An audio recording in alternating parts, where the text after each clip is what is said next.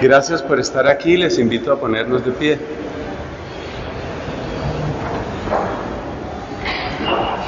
Mientras recorres la vida, tú nunca solo estás, contigo por el camino,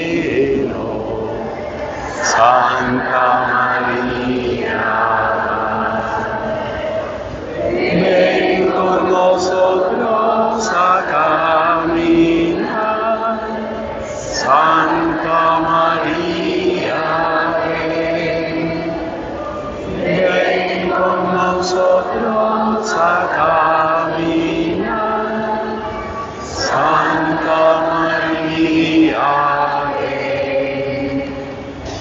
El nombre del Padre y del Hijo y del Espíritu Santo.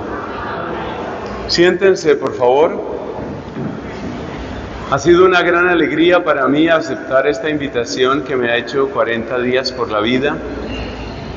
Y por eso, junto con todos ustedes en este lugar santo, les invito a que tomemos el siguiente tema para las personas que están escribiendo, están tomando sus apuntes.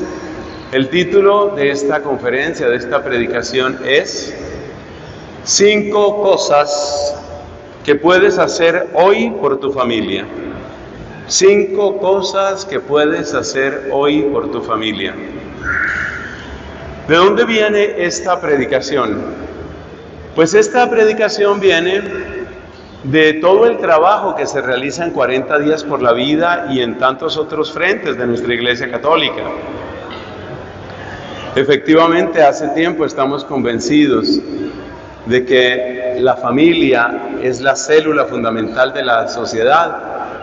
Estamos convencidos de cómo lo que le suceda a la familia le va a suceder a la sociedad. Estamos convencidos de la importancia de renovar, de sanar, de fortalecer las familias que ya están y también preparar las familias del futuro. No se nos olvide esto. No podemos limitarnos a dolernos, a quejarnos, a amargarnos, ni tampoco podemos tomar una actitud simplemente de derrota o de cinismo. Una actitud de derrota es decir, bueno, así son las cosas ahora, ya no hay nada que hacer, ya esto llegó a este punto. Esa es una actitud de derrota. Y una actitud de cinismo es, bueno, pues si las cosas son así, pues vamos a llevar la fiesta en paz y no nos vamos a complicar la vida. Nosotros, cristianos católicos, sabemos muy bien que nuestro papel no está ni en el cinismo ni en la derrota, no está en la amargura ni simplemente en quejarnos, sino que tenemos algo, algo y mucho que aportar.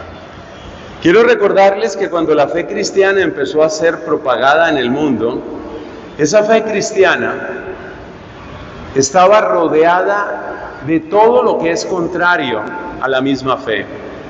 Cosas como que, bueno, pues cosas como por ejemplo el libertinaje, el culto al placer, la violencia y tantos otros elementos que todavía hoy nos siguen afectando. Ustedes piensen, por ejemplo, el espectáculo con el que se encontró un apóstol San Pablo cuando llegó a la ciudad de Corinto. Todos hemos oído hablar la carta del apóstol San Pablo a los Corintios. Esta comunidad cristiana de Corinto fue fundada por Pablo, pero cuando Pablo llegó ahí, ¿qué se encontró? ¿Qué era lo que había en ese lugar? ¿Cómo era la sociedad de ese tiempo? Y lo que vemos es que, pues ciertamente no era un ambiente fácil.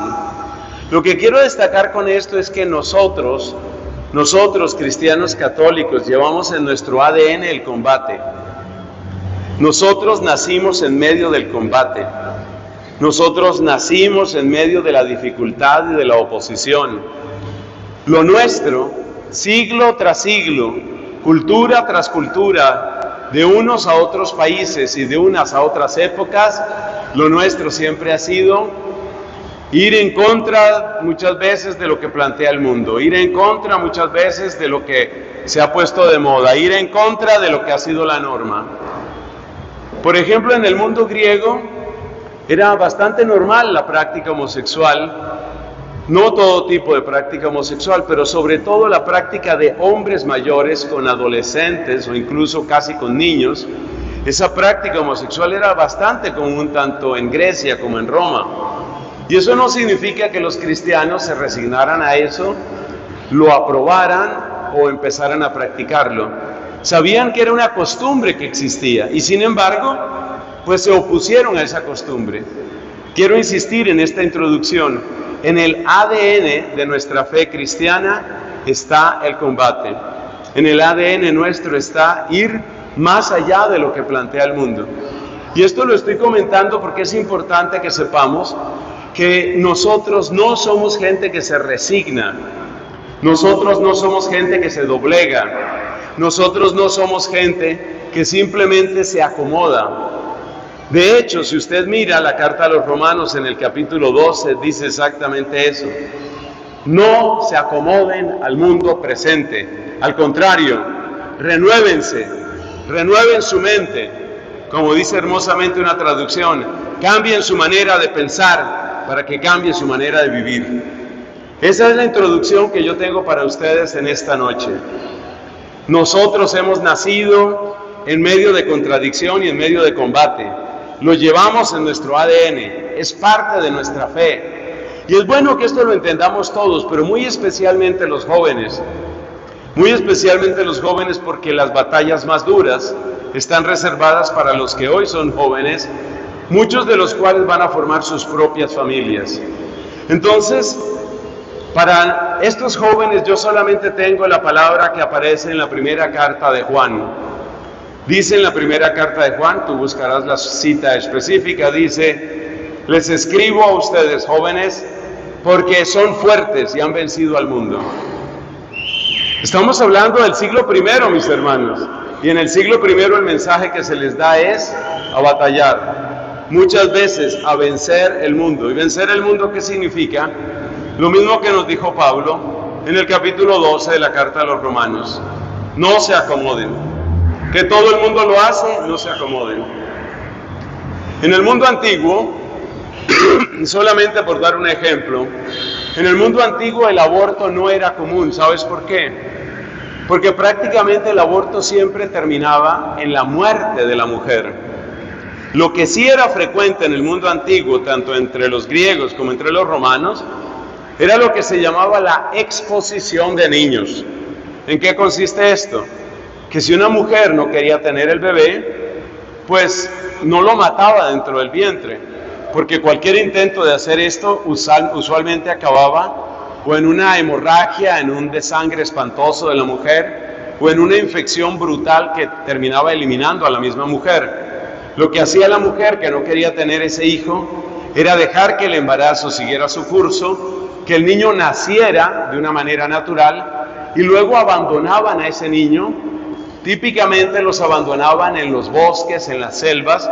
El niño pues recién nacido no recibía ningún cuidado, sino que era abandonado para que se lo comieran las fieras o en todo caso para que muriera.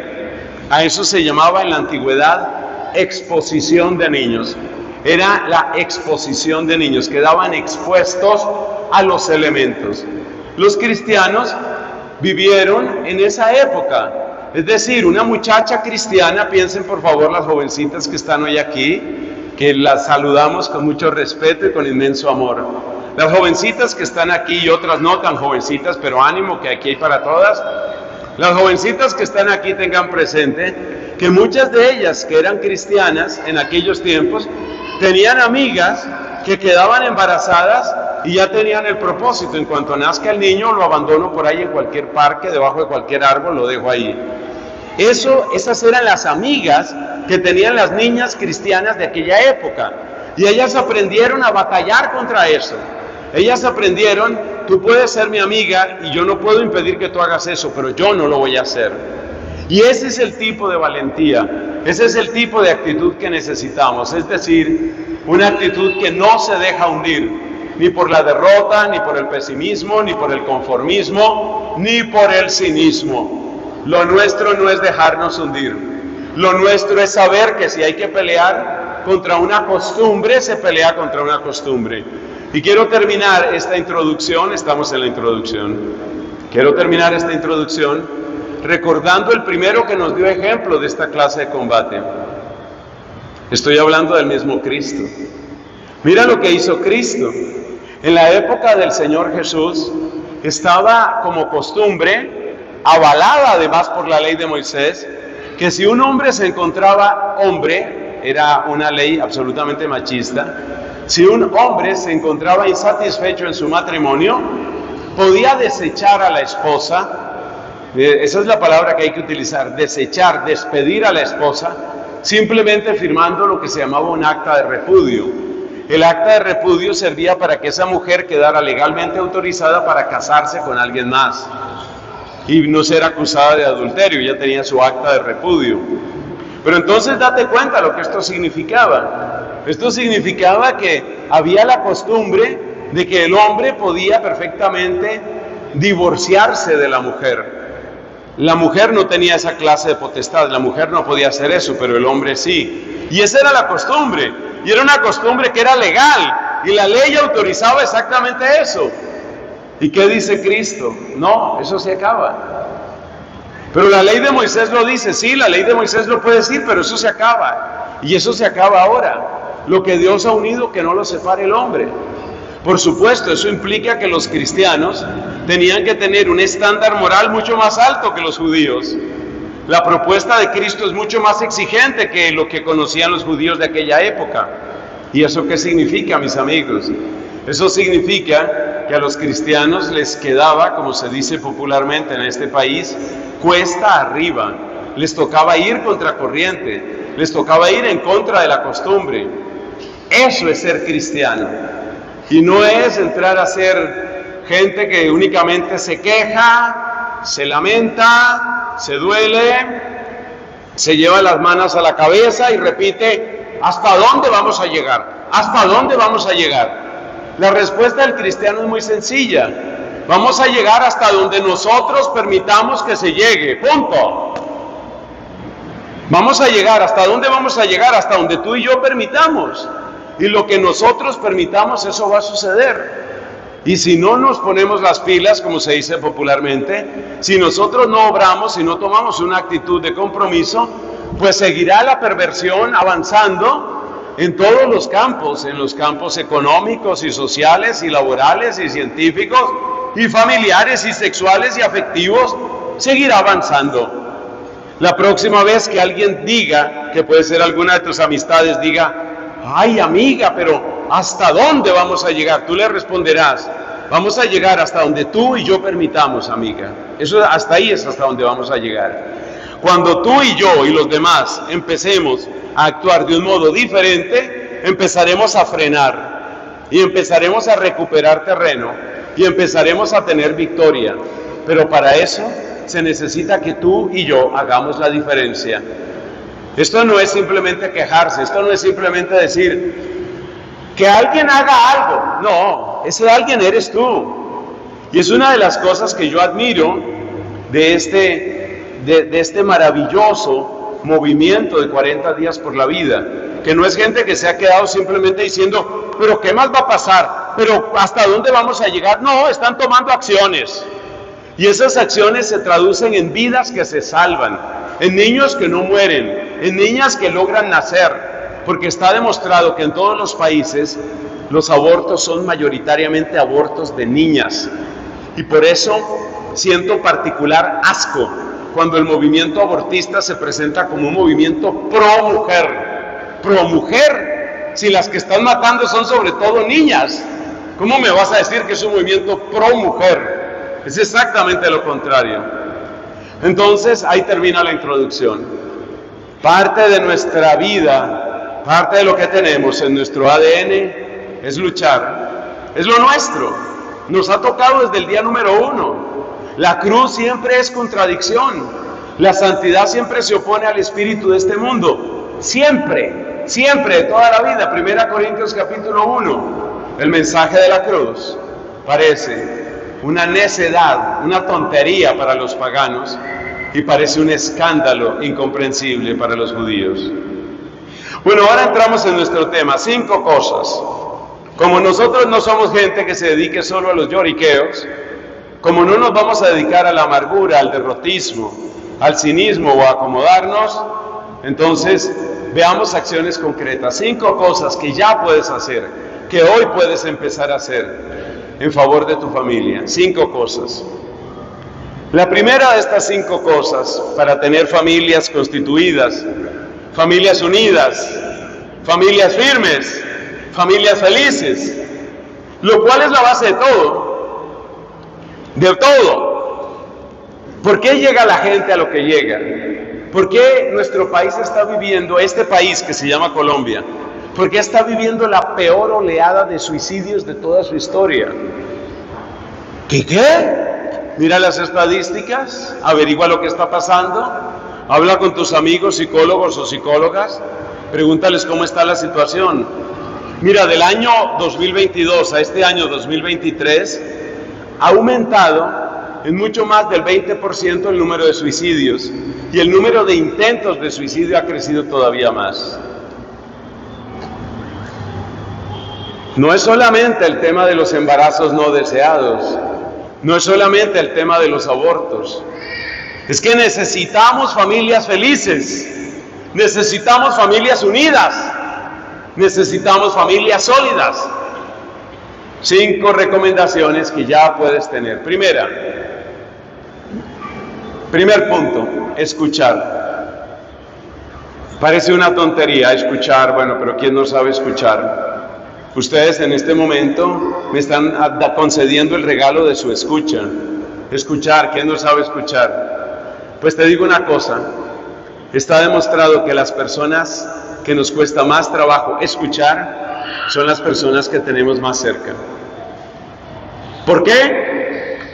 Parece que la razón es porque cuando yo tengo gente realmente cercana, entonces competimos en intereses similares. Por ejemplo, yo quiero que las cosas se hagan de este modo y mi esposo o mi esposa quiere que las cosas se hagan de otro modo mis hijos quieren tal cosa y yo no quiero eso sino otra cosa. ¿Y qué sucede cuando hay desacuerdos? Los desacuerdos hacen muy difícil la escucha. Y aquí es donde viene lo que se llama el cáncer de la escucha para las personas que están tomando apuntes. Son como unas siete personas. Para quienes están tomando sus apuntes, mira esto que sucede. ¿Cuál es el cáncer de la escucha? El cáncer de la escucha consiste en que yo en realidad no te oigo. Tú eres mi hermano o mi papá, o eres mi mamá o mi esposa, y yo no te oigo. ¿Y por qué no te oigo? Porque mientras tú estás produciendo sonidos con tu boca, yo ya estoy preparando lo que te voy a decir. Entonces yo no te escucho. Entonces nunca llego a entender tu punto de vista.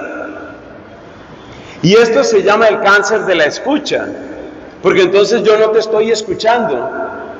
Tú me vas a hablar, por ejemplo, de lo agobiado que te sientes en el trabajo, lo tenso que has estado, y con eso me quieres explicar por qué estás un poco distante, un poco frío, por qué un poco fría o por qué te faltan detalles. Pero apenas tú empiezas a hablarme de tu trabajo, yo ya estoy preparando mi respuesta. Cuando yo estoy preparando mi respuesta, a medida que tú estás hablando, yo no te estoy escuchando. No te estoy escuchando. Una señal de que uno no está escuchando es el interrumpir continuamente. Es esperar a que, el, a que el otro vaya a pasar saliva para intervenir. Es esa manera de pensar, en algún momento tendrá que respirar. y apenas vaya a respirar, ahí intervengo yo. Escuchar es bien difícil. Es bien difícil. Es un arte, un arte que hay que dominar y un arte que empieza por uno mismo. Yo quisiera que en muchos hogares se hiciera esa prueba. La prueba de oír a la persona. ¿Tú qué quieres decir sobre esto? Y te prometo que no te voy a interrumpir hasta que diga todo. Ese es el, primer consejo, la primera recomendación para aprender a escuchar, no interrumpir. Segunda recomendación para aprender a escuchar, Para las ocho personas que están tomando apuntes. Segunda recomendación. Cuando la otra persona haya terminado de hablar, entonces tú le dices, déjame ver si entendí bien, o una frase parecida. Y tú le repites, le haces eco a lo que la persona ha dicho. Entonces, por ejemplo, una discusión entre el papá y el hijo. Por la hora de llegada del hijo, al hijo le encanta la vida social, el hijo llega tardísimo, nunca respeta los horarios. Entonces el papá normalmente se desahoga, toma una actitud agresiva, cosa que no es correcta, pero bueno. Pero como el hijo vino a la conferencia en Santa María Reina, el hijo dice, no voy a cometer el error, no voy a caer en el cáncer. Oye lo que ha dicho el papá. Y para gran sorpresa del papá, lo dejó hablar. Lo dejó hablar. Y después le dice, papá, yo quiero decirte lo que he entendido.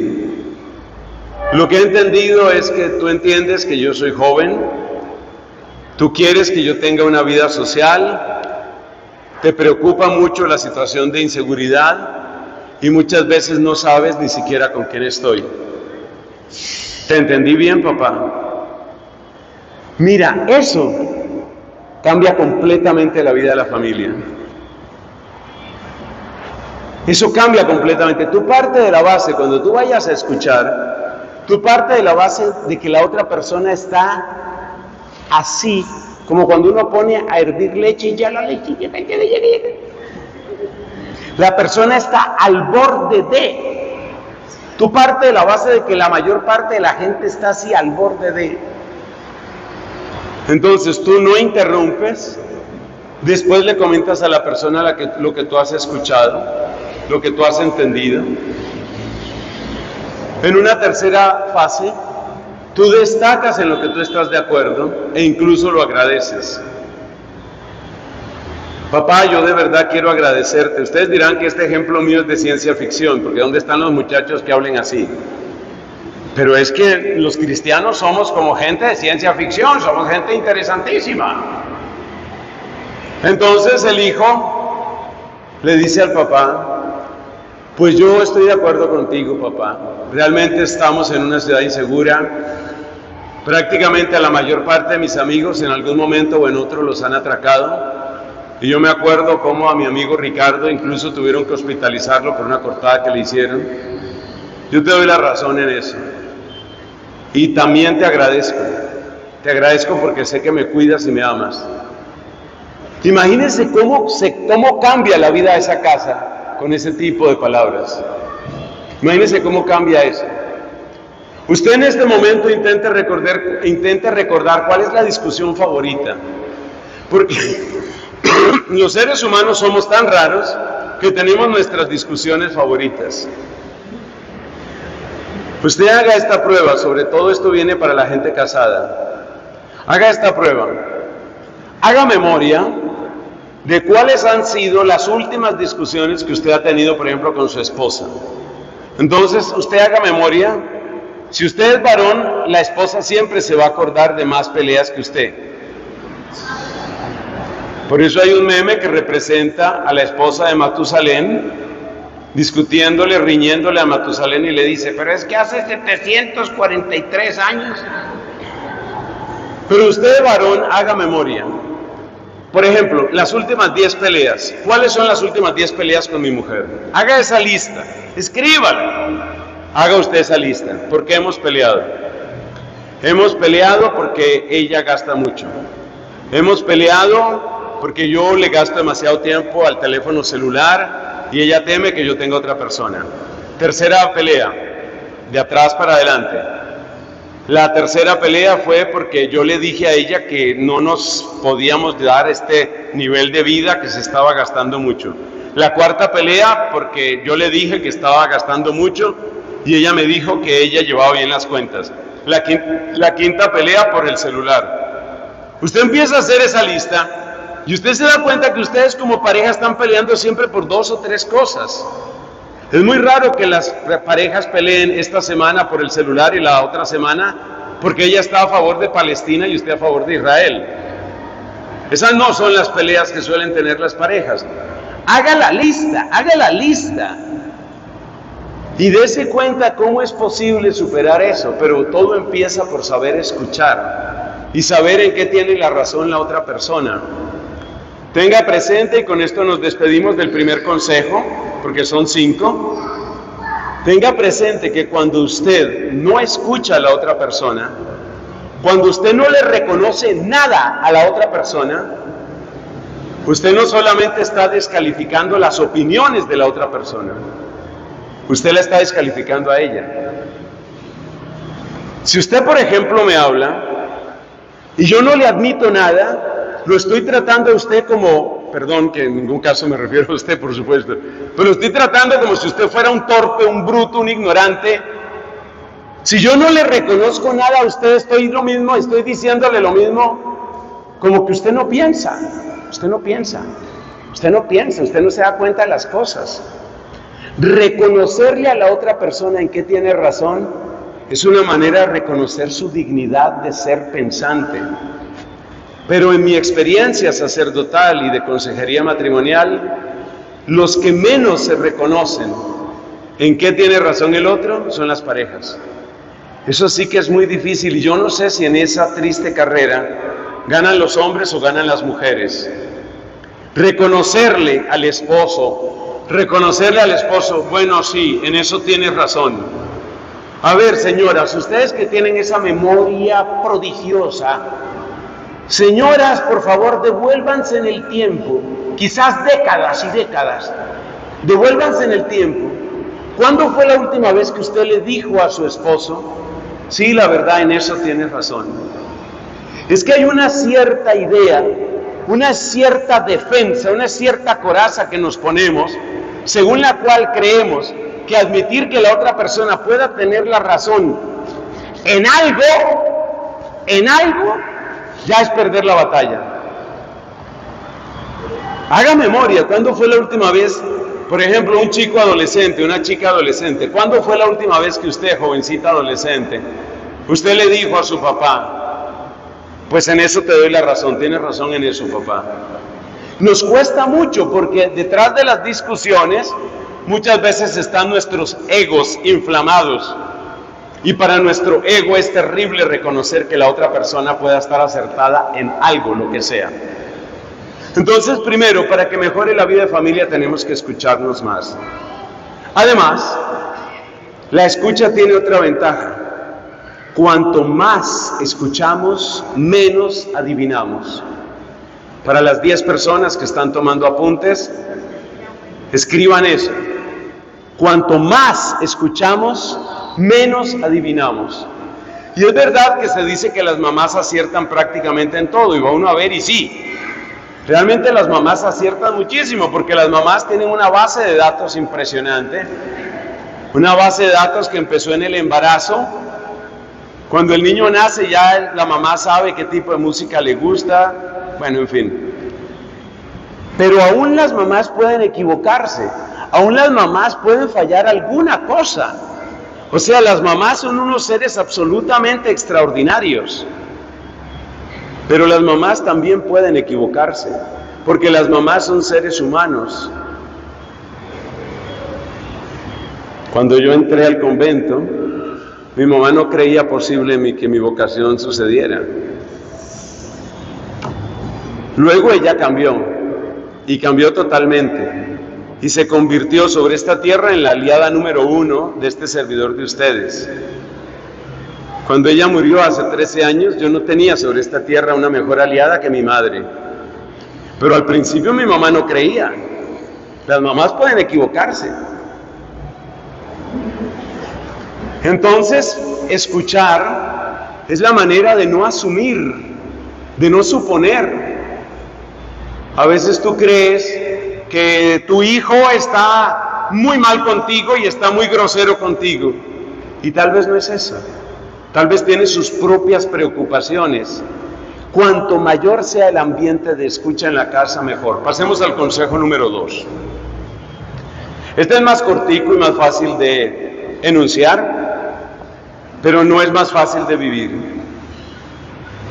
A mí me sorprende como sacerdote y me sorprende con dolor que muchas personas oran, ese es el segundo consejo, ora por tu familia. El primero es escucha a tu familia, el segundo es ora por tu familia. ¿Usted ora por su esposa? Muy poco. Yo me he encontrado que hay más mujeres, más esposas que oran por los esposos. Pero muchos esposos que oren por las esposas no encuentro yo. Hay muchas mamás que oran bastante por los hijos, pero hay muchos papás que no están orando tanto por los hijos.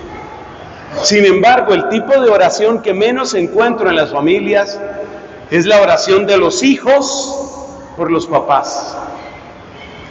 Si ustedes me ponen a clasificar, yo diría que usualmente las mamás tratan de orar bastante por los hijos. Los esposos oran también por los hijos y algo por las esposas. Pero que los hijos oren por los papás, muy poco, muy poco, y es un error muy grave.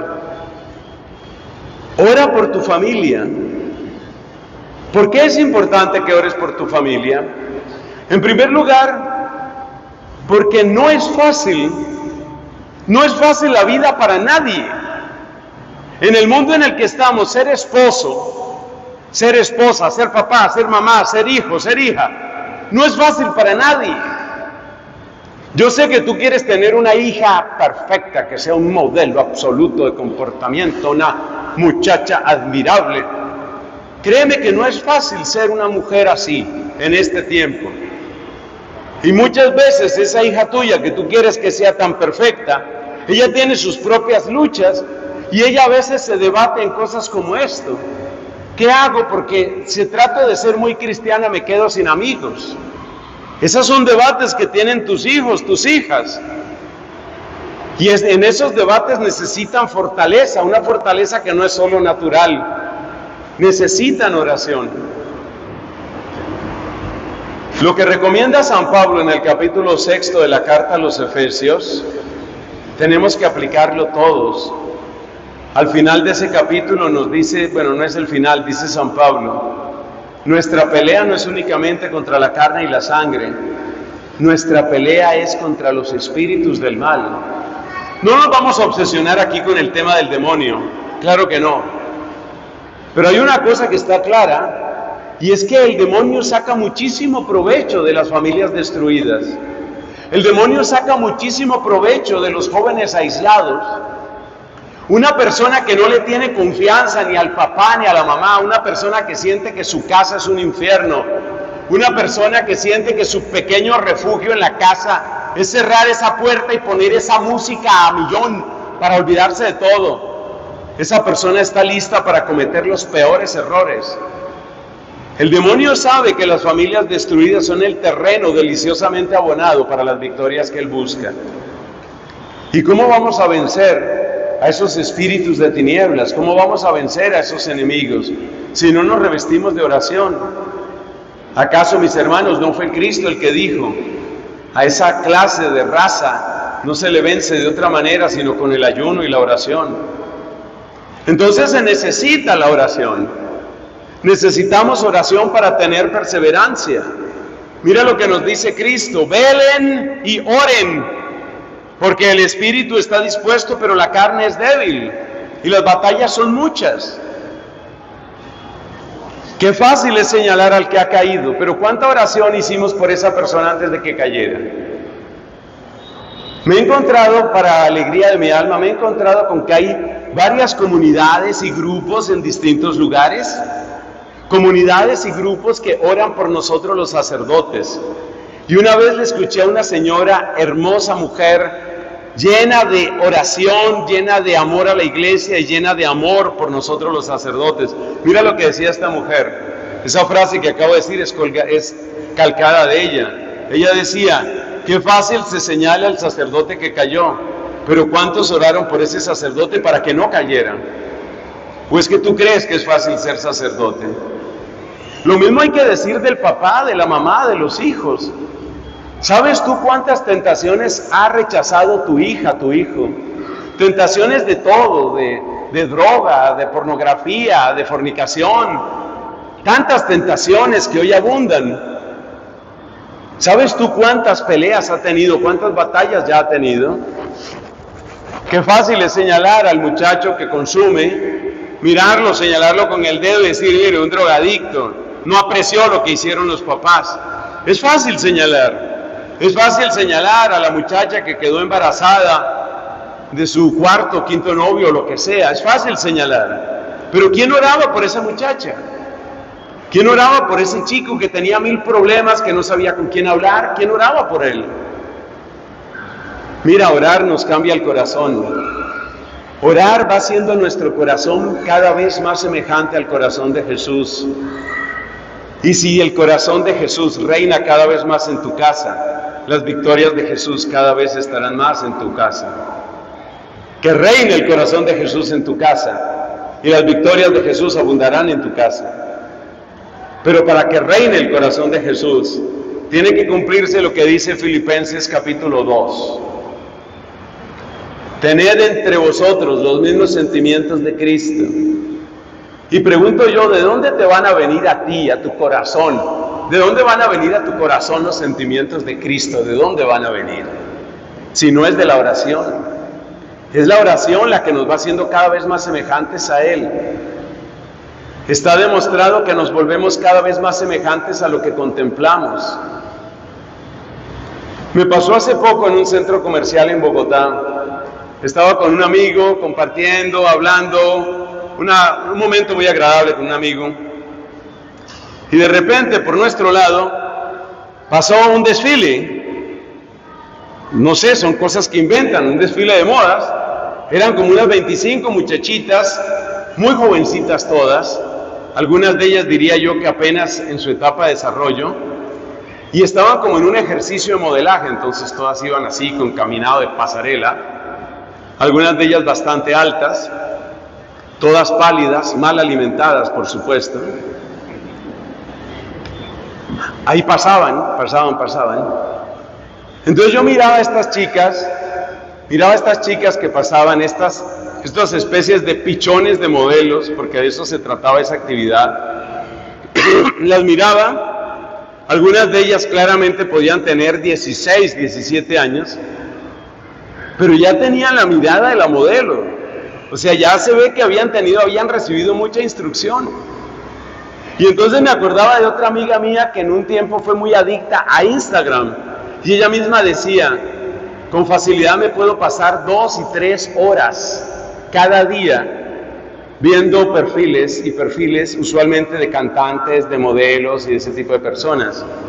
Y a medida que tú vas viendo perfiles y perfiles de modelos, vas tomando la mirada de la modelo, el gesto de la boca de la modelo, la ropa de la modelo, el estilo de vestirse de la modelo, el caminado de la modelo. ¿Por qué estoy diciendo esto? Porque tú te conviertes en lo que tú ves. Si tú miras tres horas de modelaje todos los días, vas a empezar a caminar como modelo así estés en cañaveral. Vas a caminar como modelo. Entonces, si tú haces más oración, tú vas a tener más Jesús en tu vida. Más oración en la familia.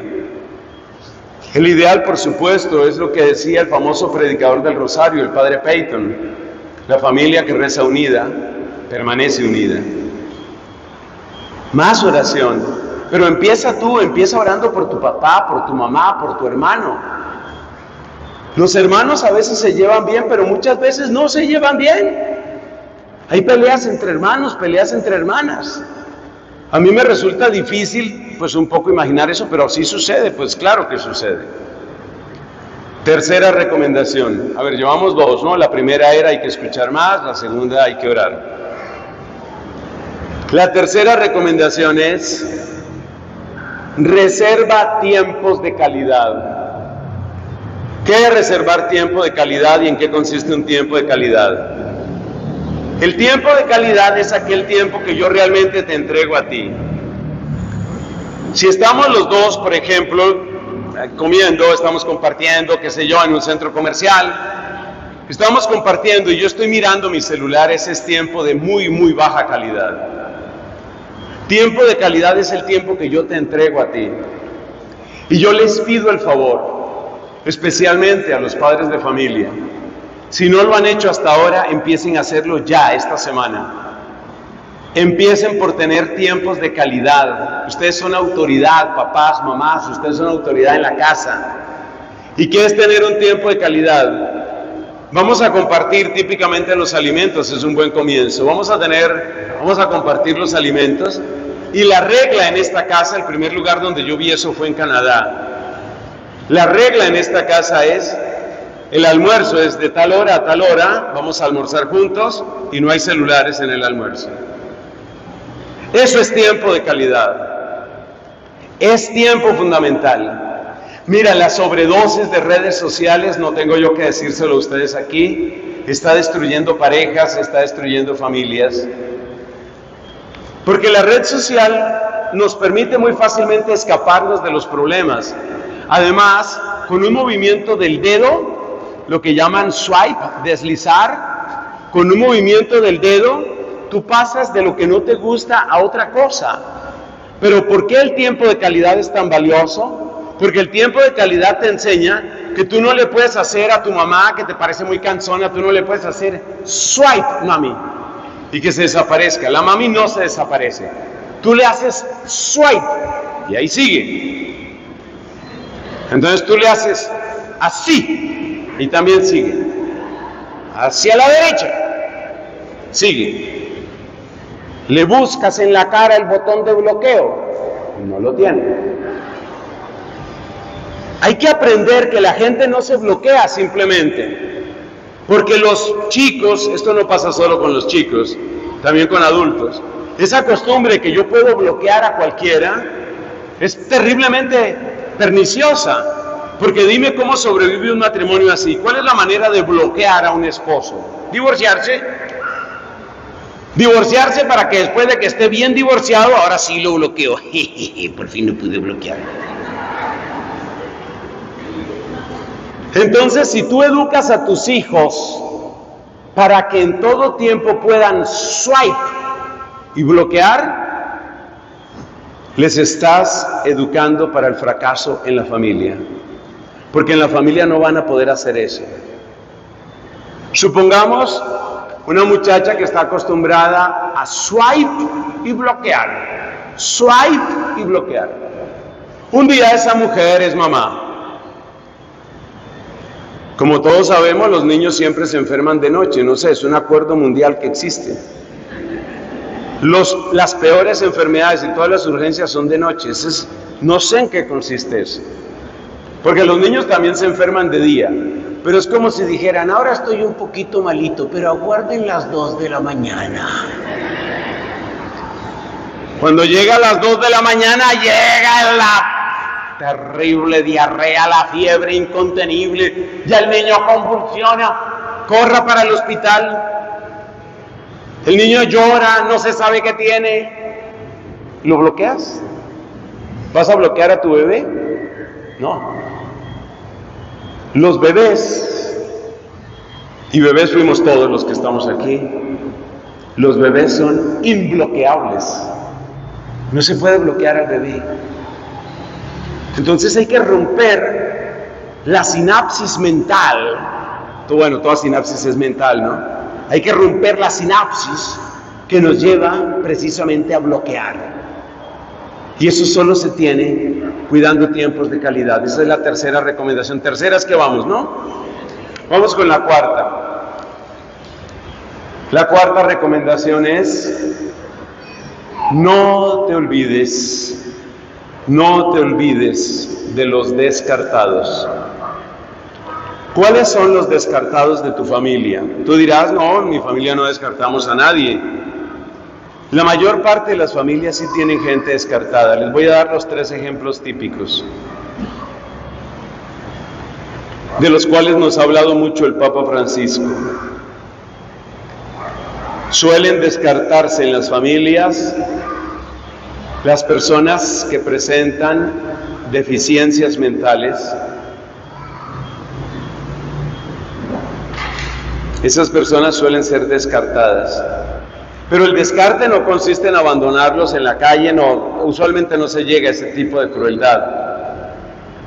Pero muchas veces el descartar es el no tomar en cuenta, el no interactuar.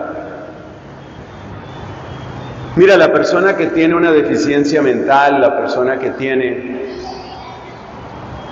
la persona que tiene un problema grave en su mente, dependiendo de los distintos casos, claro está, pero esa persona usualmente tiene algún nivel de interacción. Muchos de nosotros somos terriblemente egoístas y si no nos resulta agradable interactuar con el niño que tiene síndrome de Down, con la niña que tiene depresión, con el niño que tiene autismo, normalmente lo que nosotros hacemos es de manera insensible apartarnos, apartarnos, apartarnos. El Papa Francisco ha denunciado los peligros de la sociedad del descarte. Descartamos a los discapacitados, especialmente los discapacitados mentales. Y esto es muy difícil que lo entienda el que no ha tenido un caso en su familia. Yo lo tuve y murió. Y murió en un accidente que todavía hoy nos duele. Yo lo tuve. Yo sé de qué estoy hablando. Y yo sé del impulso que uno siente de aislar a la persona, de no meterse con la persona. Y uno tiene que vencerse. A esas personas muchas veces las descartamos, los discapacitados. Muchas veces descartamos a los ancianos porque nos parecen aburridos, porque nos parecen desaseados, porque nos parecen repetitivos. Vas a visitar a tu abuelo y otra vez tu abuelo te va a contar de la época del presidente Misael Pastrana Borrero. Y siempre dice, yo sé que tú no lo conociste, mi hijita, pero allá en el tiempo de Misael Pastrana, y tú tal vez piensas, no, yo quisiera saber cuáles son las últimas tendencias. What is trending on the internet? That's what I would like to know. Eso es lo que yo quisiera saber, qué es lo que es tendencia en el internet. Quisiera distraerme y hablar con el abuelo que repite siempre los mismos chistes. Ir donde la abuelita que no sabe si no regañar.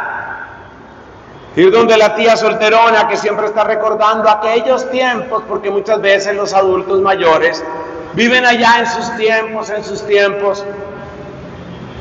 ¿Saben que me pasó una cosa interesante en la pandemia?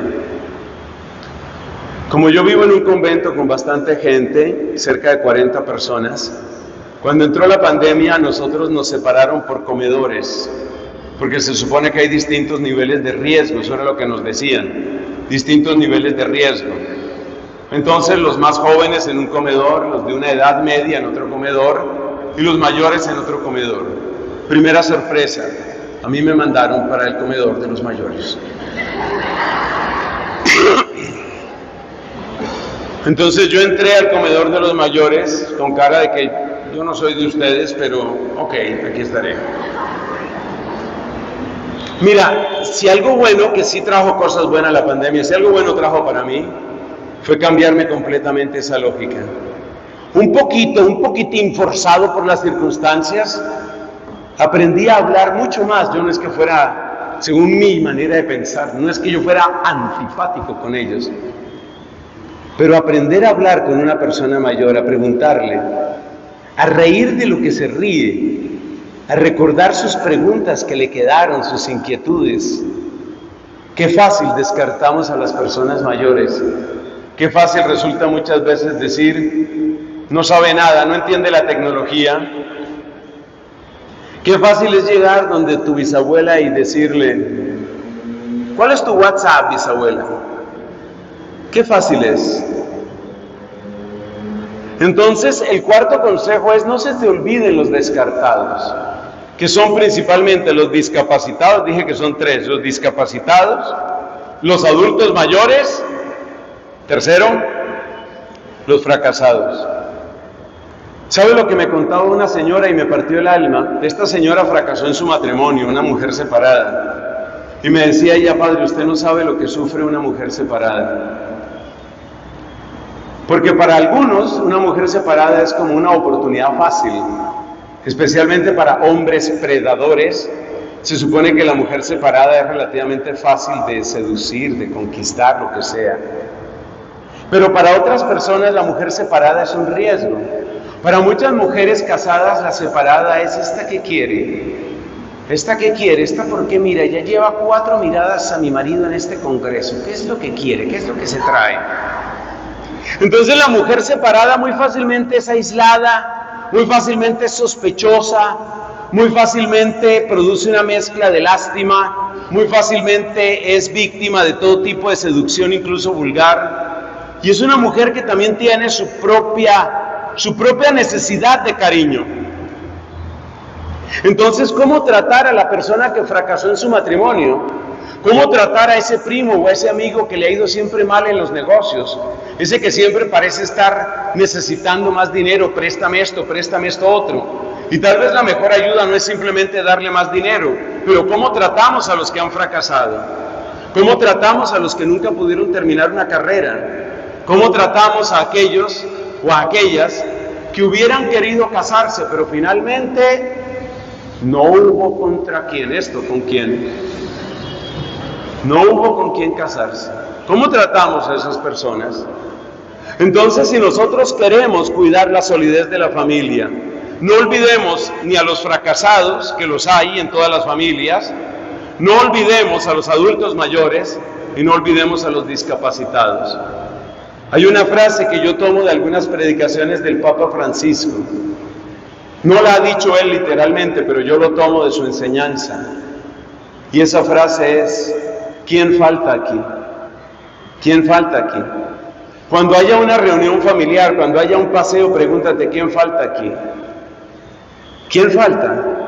¿Cuáles son esas personas a las que ni siquiera se nos ocurre invitar a la salida, al paseo, a la comida, a la actividad, a la fiesta, al cumpleaños o a la cena de Navidad.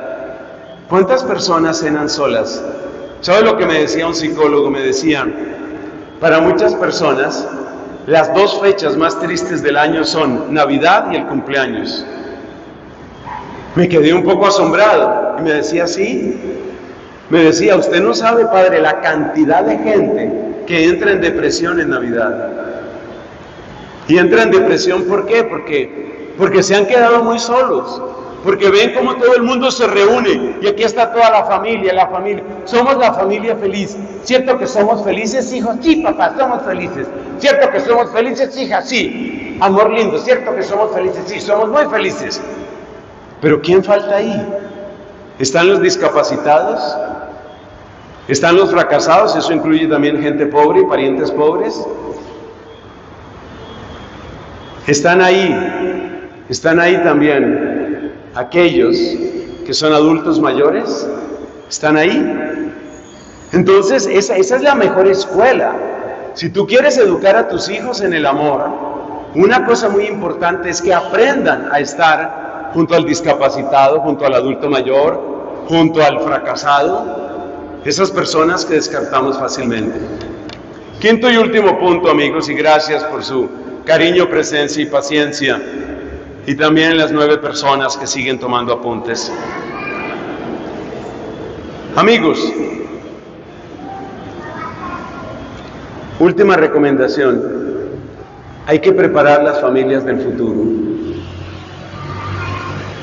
Y hay una cosa que no falla, solo se puede preparar la familia del futuro con noviazgos de más alta calidad.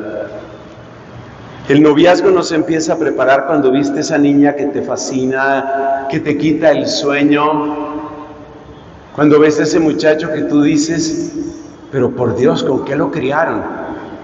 No, ahí no empieza el noviazgo. El noviazgo hay que prepararlo mucho antes. Yo diría, desde la infancia y la adolescencia, desde ahí hay que empezar a prepararse con oración, con principios claros. Mira, mayor calidad de los noviazgos siempre significará mayor calidad de los matrimonios.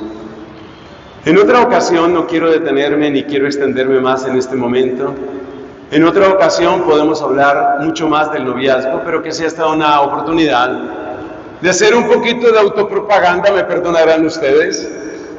Hay un canal que tengo en YouTube que se llama Fray Nelson, así en una sola palabra. Busque ese canal. Si usted pone, por ejemplo, en YouTube, usted pone Fray Nelson, noviazgo, se encuentra dos o tres conferencias que he dado sobre ese tema. Sobre todo para mostrarles a los chicos y a las chicas que lo peor que pueden hacer en un noviazgo es entrar en una intimidad apresurada que no deja sino sin sabores, abortos, embarazos no deseados, sensación de ser usada, sensación de ser usado. Pero eso hay que entender por qué es así, hay que tenerlo bien claro. ¿Por qué hace tanto daño la intimidad en los noviazgos, la intimidad sexual? Así lo hagan todos así lo hagan todos o la mayoría. Hace daño. No cometan ese error. Claro, habrá algunos que digan, pues con mi esposa nosotros llevábamos una vida sexual activa en el noviazgo y mire, aquí estamos. Sí, eso es cierto. Y también hay gente que puede decir, yo consumí droga de los 12 a los 22 y aquí estoy.